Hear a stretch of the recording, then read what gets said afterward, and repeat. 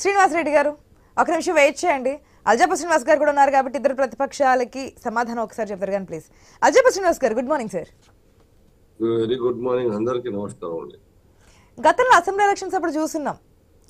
అప్పటి వరకు BJP versus బీఆర్ఎస్గా మారినటువంటి వార్ కాస్త ఒక్కసారిగా ఎందుకు బీజేపీ సైలెంట్ అనేది అప్పుడు మనకు ఉన్నటువంటి పరిస్థితులు ఈక్వేషన్స్ మనం చూస్తున్నాం. ఇప్పుడు కూడా మళ్ళీ బీఆర్ఎస్ మొన్నటి వరకు పుంజుకోలేదు అనుకున్నది కేసీఆర్ రంగంలోకి వచ్చిన తర్వాత. బహిరంగ సభలు సమావేశాలు అన్నారు ఇవాళ నుంచి బస్ యాత్రలు అంటున్నారు. మళ్ళీ బీజేపీ ఏమైనా డౌన్ఫాల్ అయ్యే అవకాశం ఉందా? అసెంబ్లీలో చూసింది మళ్ళీ ఏదైనా రిపీట్ కాబోతుందా తెలంగాణలో అనేది ఒక ప్రశ్న తెర మీదకి వస్తోంది. ఏంటి? ఆ పరిస్థితి ఉండదు ఆశ గారు. కేసీఆర్ గారి యొక్క ఒకసారి ఇమేజ్ మొత్తం కూడా డిక్లైన్ అయిన తర్వాత సమాజంలో మొత్తం డిఫేమ్ అయిన తర్వాత పార్టీ కావచ్చు లేదంటే నాయకులు కావచ్చు వారి కుటుంబం కావచ్చు. ఈ పది సంవత్సరాల కాలంలో చేసినటువంటి దురాగతాలు అకృత్యాలు అవినీతి అక్రమాల మీద ప్రజలకు మొత్తంగా కూడా కూలంకషంగా అర్థమైపోయింది. ఎన్ని రకాలుగా యొక్క రాష్ట్ర ప్రభుత్వాన్ని వాడుకున్నారు వాళ్ళ కోసం? ఏ రకంగా అన్డెమోక్రటిక్గా యొక్క రాష్ట్రాన్ని పరిపాలించి మొత్తం దోచుకోవడానికి మొత్తం కాలం కాలాన్ని వాడుకున్నారన్న విషయం ప్రజలకు అర్థమైంది. కాబట్టి వాళ్ళ కేసుల మీద కేసు. లేకుంటే టికెట్లు ఇచ్చిన తర్వాత పోవడం ఏందమ్మా? ఎంపీ టికెట్లు పది సంవత్సరాలు కా యథేచ్ఛగా నడిపించినటువంటి. ఆ- పార్టీ టికెట్ కోసం ఇట్లా లైన్ లైన్ పట్టేవాళ్ళు.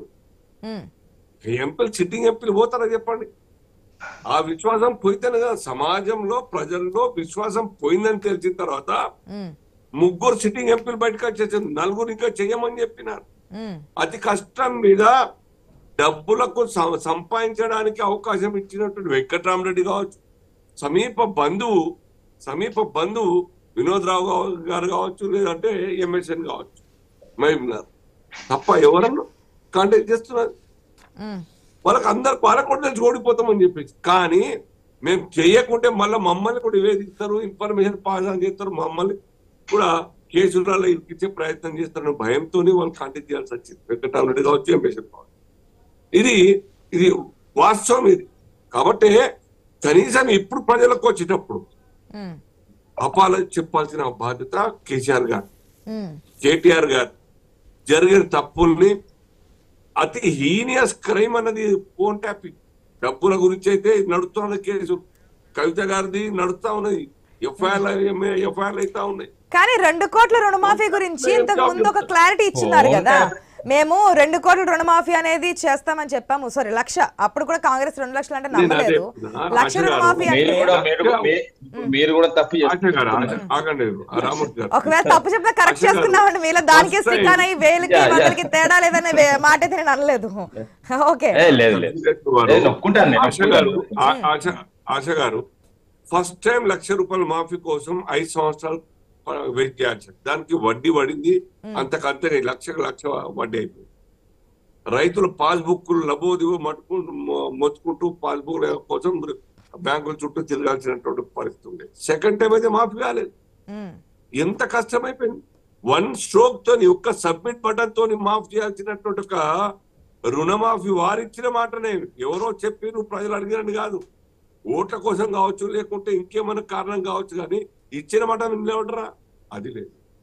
మీరు అనేక పెద్ద బడ్జెటరీ ప్రామిసెస్ అవే టచ్ చేయలేదు. హౌసింగ్ కావచ్చు మిగతా ఎంప్లాయ్మెంట్ కావచ్చు మీది ఒక వృత్తి కావచ్చు ఫ్రీ ఎరువులు కావచ్చు చేత అది ఇవన్నీ కూడా ప్రామిసెస్ని మొత్తం కూడా గుట్టదాఖలు చేసినటువంటి ఒక దరిమిలా మ్మ్. ఇప్పటికైనా బయటకు వచ్చి సమాజంలో ప్రజలకు వచ్చి మాఫీ కోరాలి. చేసి మేము చేయలేకపోయినాం. మేము. ఇప్పటి నుంచి చాలా పారదర్శకంగా పనిచేస్తాం ప్రజల కోసం. ఇమాందార్గా డెమోక్రటిక్ సిస్టమ్లో పార్టీ నడుపుతాం. పార్టీ గవర్నమెంట్ కూడా కాదు. పార్టీ నడుపుతాం. ప్రజలు మమేకం ప్రజలతో మమేకం అవుతాం అని చెప్పాలి. ఆ పరిస్థితి ఉందా? చెప్పుకునే పని ధైర్యం ఉందా? వారు ఎమ్మటే ఉన్నారు. మ్మ్. ఎవరినో రోజు వారికి ఇప్పటికే ఆన్ రికార్డ్ ముగ్గురు పోయినట్టున్నది కానీ కాంగ్రెస్లోకి అన్అఫీషియల్గా వారు సుమారుగా ఇంకా ఇరవై ముగ్గురు రెడీ ఉన్నారు అక్కడ. ఇరవై ఆరు అయితే గానీ కాదు మొత్తం స్ప్లిట్ కాదు. అంతా కాంగ్రెస్ కన్నా బీజేపీకి కదా? శ్రీనివాస్ గారు. అంతా కాంగ్రెస్ వైపు బీజేపీ వైపు ఏం టర్న్ కదా? ఎవరు వాళ్ళ ప్రయత్నం వాళ్ళ లక్ష్యం వాళ్ళు. వాళ్ళ లక్ష్యం ఇరవై మూడు వస్తే చేసేసుకుంటామని చెప్పి వెయిట్ చేస్తా ఉన్నారు. ఆశ గారు. బట్ కాంగ్రెస్లో పోయినా ఉమ్, ప్రజలకు కోరికేది ఏం లేదు. ప్రజలకు ఆ గవర్నమెంట్ కాంగ్రెస్ గవర్నమెంట్తో కూడా జరిగేది ఏం లేదు. వాళ్ళు కూడా సేమ్ పుట్ట ఫాల్స్ ప్రామిస్ చేస్తా ఉన్నారు. ఇంతకుముందు అనిల్ గారు చెప్పినట్టు వారి పేరు ఐడియా లేదు సారీ.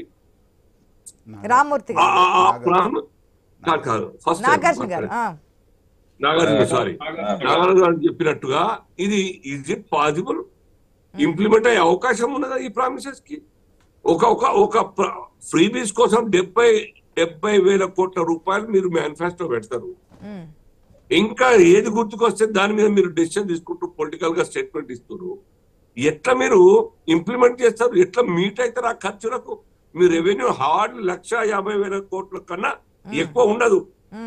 మిగతా రెండు లక్షల చిల్లర డెబ్బై ఇంకా టోటల్ కానీ శ్రీనివాస్ గారు గతంలో గతంలో ఎస్ హామీలు అనేవి అమలు చేయడము లాస్ట్ మినిట్లో చేస్తున్నారా? లేదంటే హామీలు అనేవి ఎలక్షన్స్తో పని లేకుండా ముందుగానే చేస్తున్నారా దానికి బీజేపీ అతీతం కాదు అనే ప్రశ్న వస్తుంది. ఎందుకంటే పసుపు బోర్డు చెప్పున్నారు.